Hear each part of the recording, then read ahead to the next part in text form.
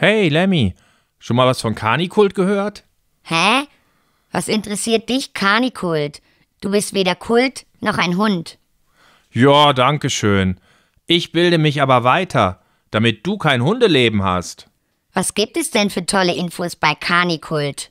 Zum Beispiel, dass du ein Kulturgut bist. Hm, ich wusste schon immer, dass ich etwas Besonderes bin. Und wie wertvoll du für uns Menschen bist. Hm, weiter, weiter. Gib mir mehr davon. Weißt du, dass es ohne Hunde wahrscheinlich gar keine Kultur geben würde? Das ist so unfair. Jetzt willst du mich für den Mist verantwortlich machen, den die Wendlers und Pochers dieser Welt von sich geben.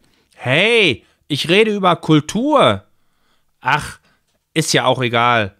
Ich wollte nur sagen, Kanikult berichtet über alles, was im Zusammenleben von Mensch und Hund wichtig ist. Verstehe. Dann geht es bei Kanikult also darum, dass du dich im Bett immer viel zu breit machst. Was? Nein. Und auch nicht darum, dass du mir immer die Leberwurst wegfrisst. Sondern? Na, um das Neueste aus Wissenschaft und Forschung, um Tipps und Tricks für die Hundeerziehung. Gibt es auch Tipps, wie man seinen Leinenhalter dazu bringt, länger spazieren zu gehen? Es gibt viele Beiträge, von denen ihr profitiert. Zum Beispiel? Wie gute Hundehaltung geht oder Hundezucht. Geil. Hundepornos.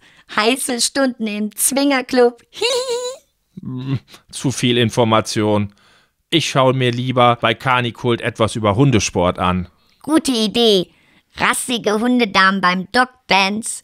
Lass uns nach Hause gehen und den Computer anschmeißen.